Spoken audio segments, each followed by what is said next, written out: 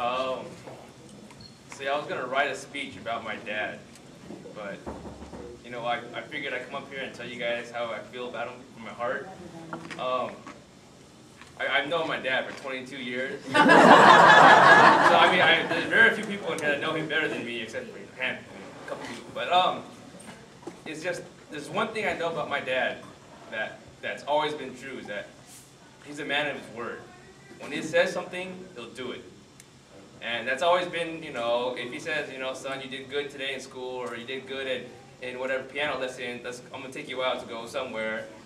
I know that he's gonna take me out to go somewhere.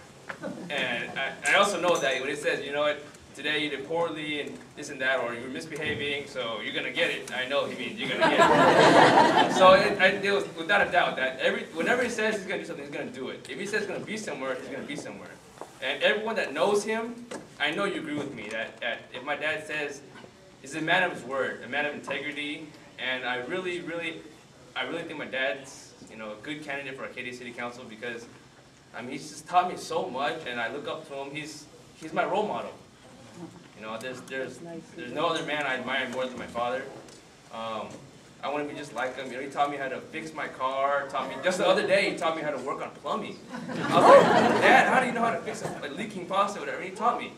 I went to Home Depot, picked all the parts, and he, he, he walked me through it. And he, he, he showed me how to, how to, you know, fix washing machines and you know, fix roof leaks and and clean the pool or whatever. You know, and it's just I, I admire him so much because whenever I ask my dad something, he's not the kind of person that will make up something. If he doesn't know, he'll tell you straight up. I don't know. I'll get, you know, he'll come back and with a, read up on it, come back and tell you, you know, oh, here's what you need to do. And he's just, he's so honest, and he's just, I, I love my dad so much, and I really think that he's a good candidate for Arcadia City Council. So I hope that you all support him, like I do.